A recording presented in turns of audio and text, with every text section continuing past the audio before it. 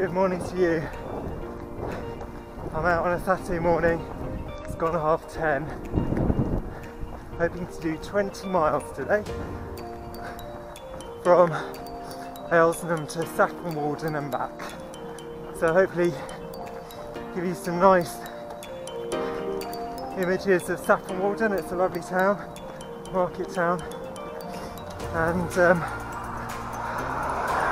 my race plan or run plan is nine minutes a mile average, which is quite ambitious for this distance. But hey, it's good to set a challenge, isn't it? So let's see how I get on. I've uh, done about five and a half miles. I'm just going through Newport and under the railway bridge at the moment. And uh, yeah, pace is good. Not quite nine minutes, but still good for me.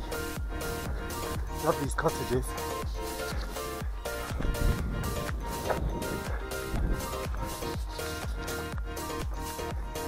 So uh, enjoying it and the weather's awesome. Right.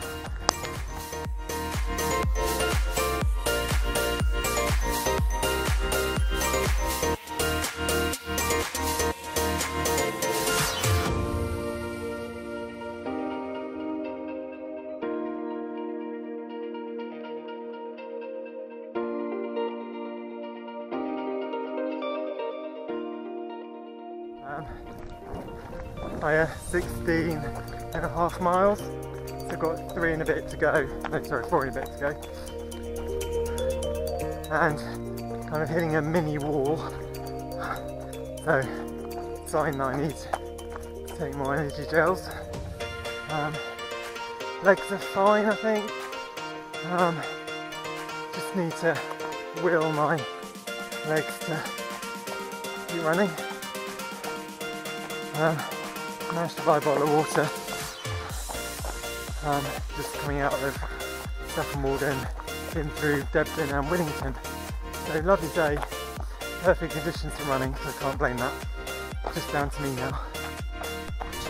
I uh, made it back um, just shy of 21 miles in the end, and um, uh, really took it out of me. I can't lie.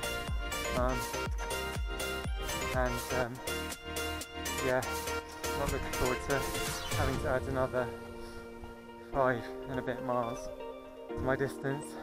And I can do it, but I'll probably, based on today's performance, be a bit of a wreck at the end. Um, but perhaps that's my marathon destiny. Uh, so really glad to have um, got 21 miles ish um, done in my training. Um, that's a real positive psychological benefit, um, and hopefully my body will um, repair itself, recover, and gain the extra strength that I need to go the distance. Um, but so glad to have done today's run, and um, really need a rest now, some food.